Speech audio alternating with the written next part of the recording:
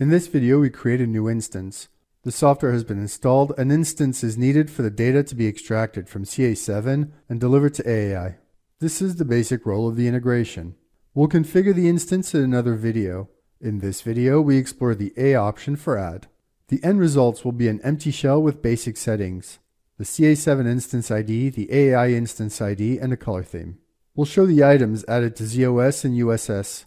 Additional elements will be added to CusLib and we'll explain what they do. Finally, we'll show how to start the instance. The process is fairly simple, but it has multiple parts that we explain. Let's create our first instance. We see the four options A, C, U, and M, which match the four options we outlined in the overview. We use option A for add. We select any of the available slots. It should be clear that when starting the IMS for the first time, no instance is defined. The IMS will automatically start the add instance function to define the first instance. The A add option is therefore only used when defining more instances within the same IMS. We're now in the first screen of the add option.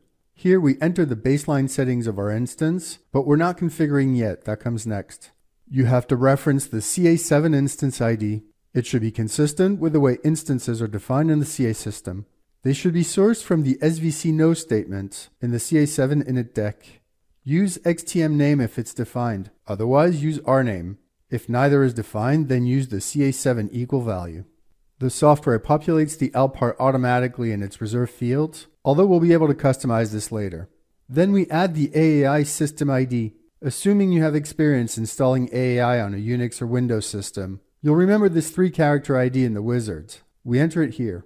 Both IDs are important. They're going to define the naming convention of the instance members, so it's important to get them right. We can change the menu slots. We name our instance, and this is your decision, although we recommend establishing a naming convention early so as to maintain consistency throughout the system. We then have the option of setting a color theme to our environments for the instance name, the LPAR, and so forth. We press enter to continue. In the next screen, we allocate the instance datasets. They require an HLQ. The default option lets you enter a high-level HLQ and the software appends the rest. The Override HLQ option allows us to use non-standard format HLQ. The reason we emphasize the importance of the CA7 and AI instance IDs is this. When the instance's datasets are created in ZOS, the default naming convention of the HLQ uses the following. First, a fixed value, AIS7 dot, then the AI instance ID, then the last character of the CA7 instance ID, the LPAR dot, and finally the dataset name. AI server ID name and CA7 instance ID are the data points we entered in the previous screen. Then we have the ZOS system settings, management class, storage class, data class, volume serial, and so forth. We have to set the name of the ZFS volume that will host the data files prior to transmission to AAI. Use override DSN to define an alternative name if site standards require VSAM cluster specific HLQ. If you leave it blank, the default ZFS volume name is shown in yellow. If you override, you specify DSN and space. We also allocate the space based on the size of the CA7 system and volume of data we're expecting to acquire. We press enter to continue. The datasets are created. This is reflected in ZOS. We now have these new datasets. Let's describe the important ones. SRVR SCFG stores instance configurations, as in the information pertaining to the instance. Since we haven't configured, it's currently empty. SRVR SREC stores requests issued from the ISPF IMS system, or the request STC. The requests are four character codes, say term or ADEF. SRVR SREC also contains the state of the primary STC, say active, shutdown, or busy. This makes it possible for the IMS system and the request STC to know whether they can issue a request to the server STC in the first place. SRVR CKPT is the checkpoint. It stores a date and timestamp of the last event data sends. Following a warm start, it can recover all the data since the checkpoint date and time and up to the current date and time to make sure nothing is missing. The CusLib library has been appended with items dedicated to the management of the instance.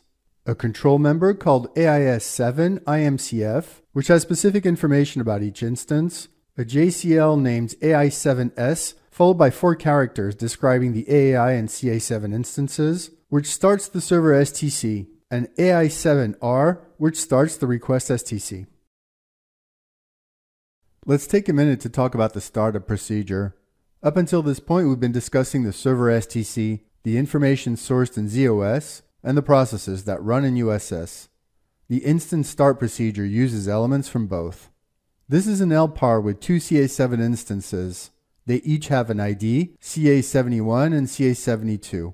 We have two software instances and two AAI servers, each with an ID as well, 123 and XYZ. We've already described what these IDs are. When a software instance is installed, new JCLs are added to cuslib for the management of that instance. AI7S, which is the server STC, and AI7R, which is the request STC, whose purpose is to submit commands to SRVR SREC, followed by four characters. Their naming is automated. The instance procedure is a JCL called AI7S, followed by four characters, the three AI instance ID, and the last character of the CA7 ID. As a result, the first JCL is called AI7S1231, while the second AI7S XYZ2. To start the instance, we simply execute this JCL. It invokes BPX batch and starts the USS environments. It also passes a Unix executable, AIS7 SRVR, which is the server STC code. The instance starts. This is the cuslib member where the execution JCL can be found. It must be copied to a system procedure library. This is the default generated name for the server STC based on the instance code XXXY, which you would specify to automation so it starts automatically. The important section is this statement.